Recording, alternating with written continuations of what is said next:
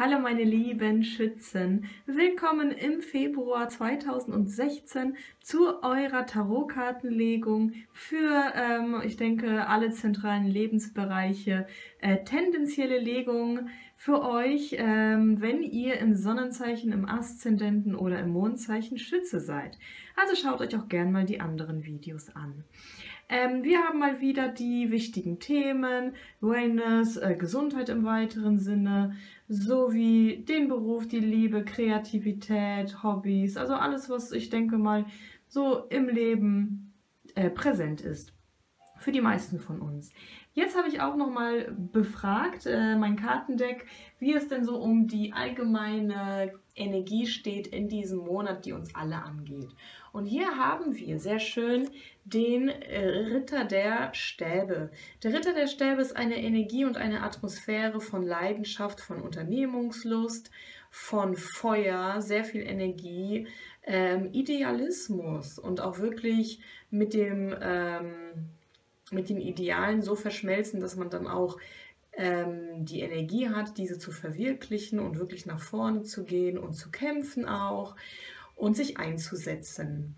Aber auch ähm, sehr viel Lebenslust, ähm, ja, einfach Lebenslust, ähm, Unternehmungen, das dann auch einfach wieder mehr Energie auch ist für zum Beispiel sportliche Aktivitäten, vielleicht auch militärische. Ne? Also einfach wirklich sehr, sehr viel Feuer und sehr viel Draufgängertum und Tatendrang. Ähm, jetzt habe ich natürlich auch selbst mal dieses Kartendeck gemacht. Damit habe ich auch schon sehr oft gelegt, die, die meine Videos schon kennen. Und hier habe ich ähm, zum Ritter der Stäbe, habe ich nämlich Che Guevara auf dem Bild. Also ich, ich weiß nicht, ob das so ein typisches Bild ist, vielleicht eher nicht von Che Guevara.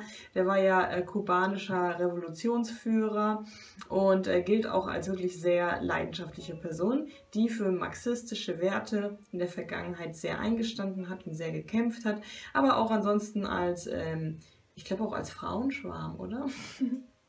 also auf alle Fälle jemand, der jetzt nicht unbedingt ähm, ja, Däumchen gedreht hat, sage ich mal, oder sich, sondern halt wirklich nach vorne gegangen ist mit seinen Werten und diese auch in die Tat umgesetzt hat. Also das heißt irgendwie dieser ähm, Februar, der wird um einiges wärmer und um einiges ähm, uns, uns viel mehr Energie wiedergeben, als es der Januar getan hat. Also der Januar, der war ja, fand ich, jetzt so ein bisschen lahm, um es mal so salopp zu sagen. Und der Februar, der dürfte eigentlich wieder etwas mehr Schwung und Energie in die Sache reinbringen und in unser Leben. So, da hätten wir jetzt hier unser schönes Kartendeck, beziehungsweise die Kartenlegung an sich. Also oben hätten wir die Themen Gesundheit, Wellness, einfach wie es euch physisch und psychisch tendenziell geht. Und dann geht es weiter mit Beruf und Finanzen, mit den kreativen Hobbys, Projekten äh, oder ehrenamtlichen Sachen ähm, und mit der Liebe und einfach mit dem sozialen Umfeld, welches so ähm, in eurem Leben präsent ist. Ja? Ähm, die erste Sparte hier, da hätten wir äh, die Zeit vom 1. bis zum 10. Februar 16 ungefähr, dann vom 10. bis zum 20. Fe ähm, Februar ungefähr und hier vom 20. bis Schluss. Nehmen wir mal die erste, die erste Zeit hier. Wellness, Gesundheit, wie geht es euch denn so allgemein? Da hätten wir die vier der Münzen. Die vier der Münzen ist eigentlich eine Energie von Sicherheit. Von Sicherheit, aber diese Sicherheit, die kann auch einengend sein. Also diese Sicherheit, ähm, wenn es um materielle Belange geht, wenn es um die Liebe geht, dann ist diese Sicherheit auch oft so nach dem Motto, ich bin hier sicher, weil ich materiell abgesichert bin oder weil ich einfach einen Partner habe vielleicht und sonst irgendwie vielleicht Probleme hätte einzufinden. Also Sicherheit im Sinne von, hm, es ist alles aber auch ein bisschen einengend und vielleicht auch langweilig und vielleicht nicht so, nicht so, nicht so leidenschaftlich, wie es hier unser Ritter gern hätte. Ja? Ähm, aber im äh, gesundheitlichen Bereich bedeutet das entweder, dass ihr die Sicherheit sucht im Sinne von Institutionen, vielleicht ähm, sagt, okay, äh, die Sache braucht Disziplin. Also entweder ihr geht in eine Institution, um vielleicht in ein, also ja, äh, das ist natürlich hier sehr allgemein. Also es ist einfach eine Karte der Disziplin. Also wer zum Beispiel sich diszipliniert und sein Sportprogramm macht, der äh, verzichtet dann vielleicht auf die Brunch-Besuche, dafür zeitigt das Ganze aber Ergebnisse. Ja? Oder wenn, ähm, wenn du genau weißt, du brauchst irgendwie Hilfe und musst in ein Krankenhaus oder in einen anderen äh, in eine andere Institution, dann, dann gehst du da hin und weißt auch ganz genau, äh, das ist jetzt hier nicht wegen meiner Lebensfreude ähm, äh, gerade, sondern einfach damit äh, mir das hilft und weil es einfach vernünftig und gut ist, okay? Also das heißt, ähm, das kann gut sein, dass du solche Schritte in diesem Monat für dich machst. Ja, mit dem Rauchen aufhörst du das so oder hier mit dem Glühwein. Also der Winter ist ja auch vorbei. Das ist wieder mein, ähm, mein eigenes Kartendeck. Ne? Das stelle ich auch immer mal wieder vor. Also vier der Münzen im Sinne von Gesundheit, Wohlbefinden, auch psych, also psychische Wellness, also einfach wie es euch geht. Ja? Dann hätten wir Arbeit und Finanzen. Ähm, das ist sehr interessant. Also am Anfang vom Monat 1. bis 10. haben wir hier die zwei der Kelche. Entweder du bist in einem wunderbaren Arbeitsumfeld und du fühlst dich mit den Menschen, die dich dort umgeben, sehr, sehr wohl, mit Arbeitskollegen. Oder ähm, du findest dort jemanden sogar, in den du dich verliebst und wo das auch auf Gegenseitigkeit beruht auf der Arbeit. Äh, oder du machst deinen Job einfach herzensgerne und bist einfach und hast nette Kunden auf irgendeine Art und Weise. Das ist jetzt nicht die riesen Finanzkarte, aber es sieht eigentlich danach aus, dass du dich auf der Arbeit wohlfühlst. Und ich denke halt immer mal, meistens fühlt man sich auch wohl, wenn man auch materiell äh, ganz gut steht. Und ich denke, diese Karte sagt das schon aus, dass das ähm, jetzt erstmal gut läuft auf der Arbeit, ja? Okay, dann hätten wir hier noch weiter. Und zwar äh, im Bereich Hobbys, kreative Projekte.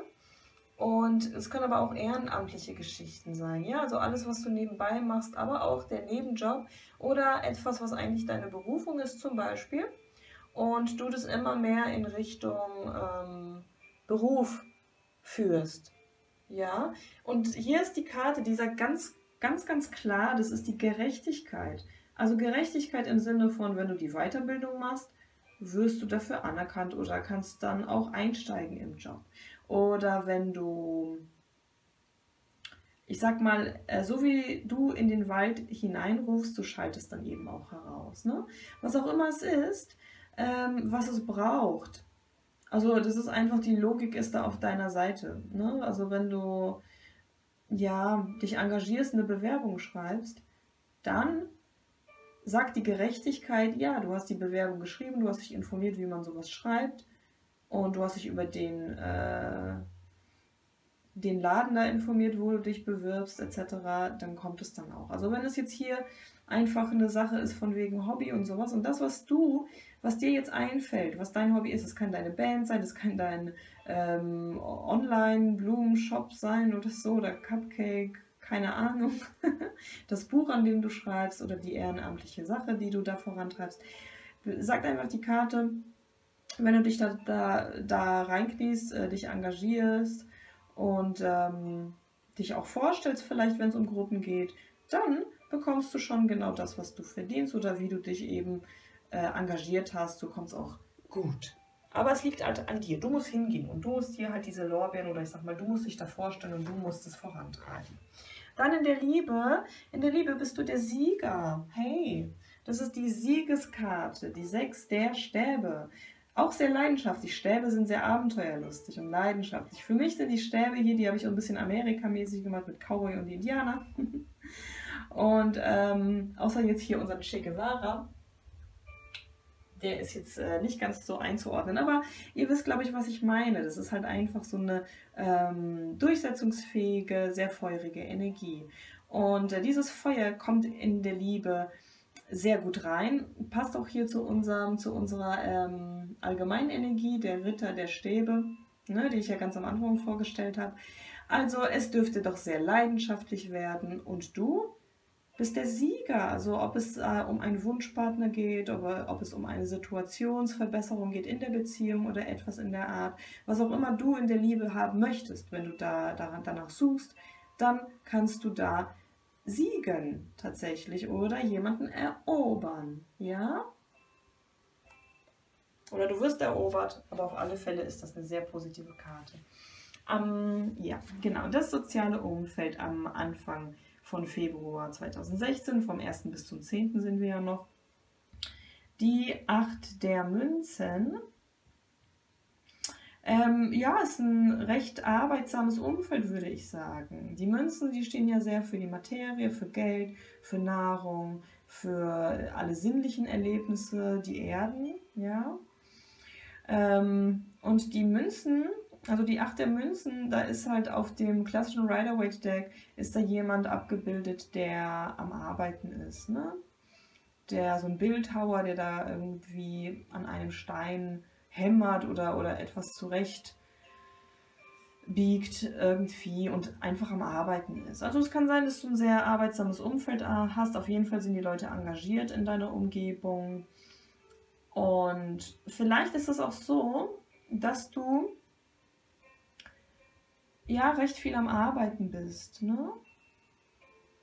Schau, das sagt auch oben bei, bei diesem ganzen Wellness und wie es dir so geht es ist ja auch die vier der Münzen, also die hat ja was mit Disziplin zu tun. Vielleicht disziplinierst du dich da sehr in deinen ähm, Vorhaben, in deinen Projekten und auf der Arbeit. Und das Umfeld ist eben sehr diszipliniert oder einfach arbeitsam und fleißig. Auf jeden Fall sind alle fleißig. Und erwarten vielleicht auch das, das, äh, dasselbe von dir. Ne?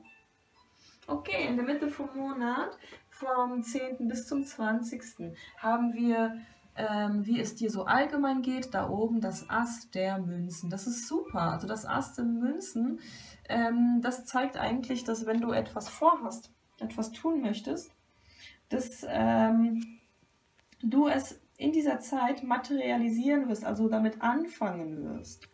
Ich drehe es mal richtig rum. da sind so Schätze und so weiter, das ist ja auch eine Münzkarte.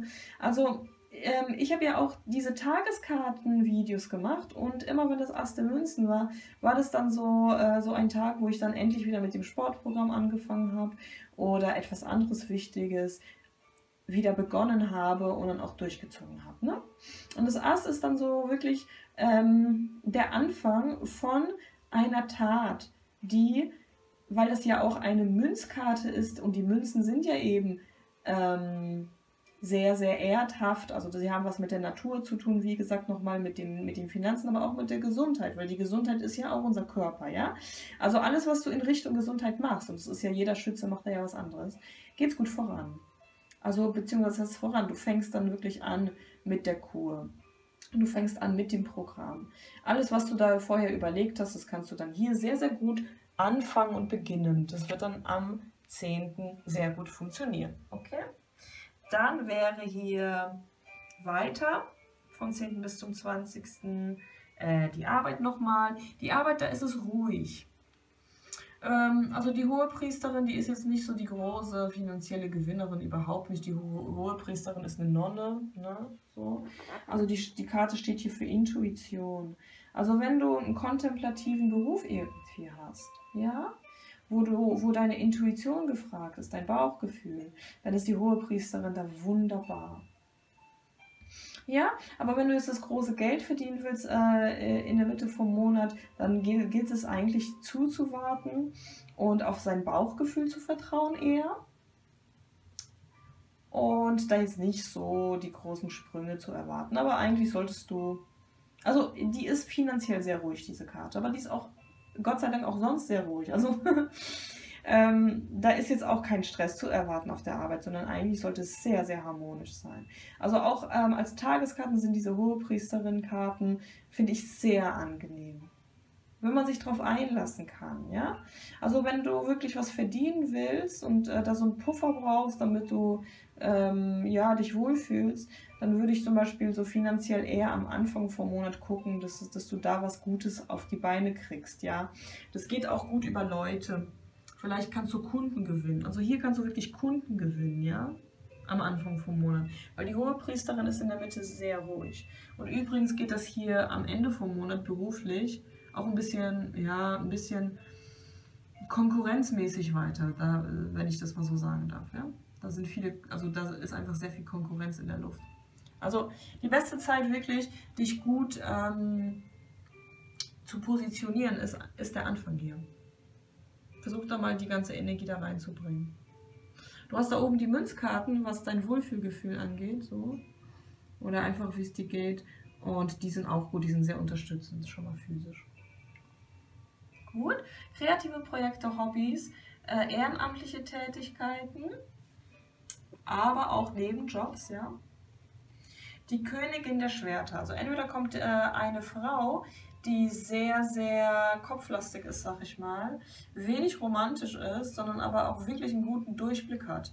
Das kann eine glasklare, gut, ähm, ja, die Dinge durchschauende und sehr intelligente Rechtsanwältin sein oder Ärztin oder Chirurgin, also irgendwie sowas. Also so jemand, dem du auch nichts vormachen kannst, ja? Und so eine Frau, also die Königinnen, die sind und Könige, die sind dann irgendwie Mitte 40, ab Mitte 40 also auf, also reifere Altersklasse, sage ich, mittleres Alter. Und äh, diese Frau, die kommt entweder in dein Leben hier und hilft dir vielleicht sogar bei dem Projekt. Es kann eine Sponsorin sein, das kann aber auch zum Beispiel irgendwie eine Anwältin sein, die dich berät, kann eine Beraterin sein oder es kann einfach eine Energie sein von Unabhängigkeit. Ja, das ist eine sehr unabhängige Frau. Die hat sich von allen möglichen Illusionen befreit. Ja, okay. Die muss nicht total kaltherzig sein, aber die kann einfach ähm, die kann auf jeden Fall äh, Gefühle von Intellekt unterscheiden irgendwie. Und die äh, verrennt sich nicht in Gefühle, sondern durchschaut die Sache und überlegt sich dann, wie sie darauf reagiert. Und auch eben sehr rational. Dann hätten wir hier noch in der Liebe, also das ist sehr, sehr schön hier übrigens. Also hier geht es um Draufgängertum also das ist jetzt hier gar nicht so sehr das Romantische. Also auf jeden Fall ist das so, dass du Bestätigung bekommst und gewinnst. Vielleicht gewinnst du auch äh, eine Art Konflikt oder so. Oder vielleicht steht, äh, stehst du ähm, von einem Partner und da ist irgendwie noch so eine Nebenbuhlerin oder ein Nebenbuhler oder sowas und du gewinnst es, ja, so kann man es sich so nennen. Und dann bist du hier auf einem guten Weg weiterhin. Also die drei ähm, der Stäbe zeigt einfach an, dass man eine gute Anhöhe erreicht hat, eine schöne Aussicht hat, wie man hier sieht und ähm, aber trotzdem noch weiß, dass man ein paar Stufen weitergehen soll. Das heißt, äh, diese Eroberung ist jetzt noch keine feste Ehe oder Beziehung, falls es darum gehen sollte. Oder wenn es dir einfach um den emotionalen Bereich geht, ja, um deine Lieben allgemein, dann geht es darum, dass du auf einem guten Weg bist, da was zu stabilisieren, aber es ist halt auch noch nicht, ihr seid noch nicht am, am Endziel, ja, aber ihr habt einen guten Weg vor euch. Oder du auf irgendeine Art und Weise für dich was auch immer mit Gefühlen und Liebe bei dir in deinem Leben zu tun hat, ja? Okay. Mm, dann hätten wir hier unser soziales Umfeld. Das soziale Umfeld, das ist halt echt Familie, das kann, können Freunde sein, das können die Arbeitskollegen sein, das äh, ist auch die Blumenverkäuferin, sag ich mal. Also einfach alle Leute, die dich so umgeben. Sechs der Münzen, das ist ja Wahnsinn. Du hast eigentlich ein sehr, sehr gediegenes, klares, ähm, materiell sehr interessantes, sicheres Umfeld. Guck mal, die arbeiten hier die Leute, die acht der Münzen. Also entweder da ist auch Geld vorhanden und materielle Ressourcen. Auf jeden Fall wird auch sehr, sehr viel dafür gemacht hier. Und äh, hier ist, ist das äh, die sechs der Münzen. Da ist bei dem äh, Rider-Waite-Deck, dem klassischen, da sind zwei Menschen abgebildet. Der eine kniet und ist so am Betteln und der andere, der steht vor ihm und gibt ihm etwas. Also entweder du hast ein Umfeld, was dich unterstützt, äh, was äh, entweder dich sponsert oder irgendwie dein Projekt sponsert und wohlwollend ist.